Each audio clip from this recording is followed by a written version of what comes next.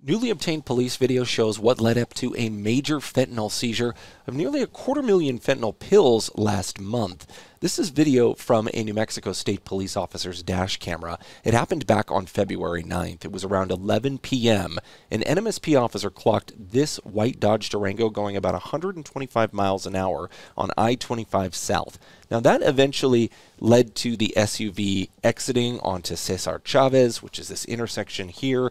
You can see the state police officer trying to pull the SUV over, well, pulled to the right and slowed down a little bit. That car eventually sped off. It wasn't long, though, before a crash happened with that SUV. You can see in this video here state police pulling up on the crash scene on bridge just west of the Rio Grande in the Hispanic Cultural Center.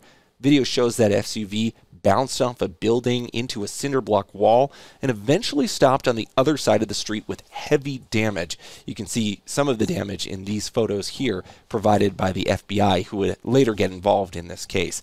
Now, police say there were two people inside of this car. They include 22 year old Jonathan Acuna. A bystander saw him get out of the car and actually held him at gunpoint before police got to the scene. That's Acuna here.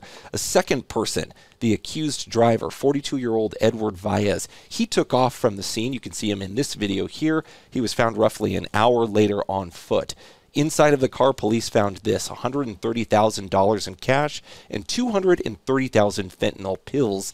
The FBI eventually seized the cash and drugs, and they continue to investigate this case.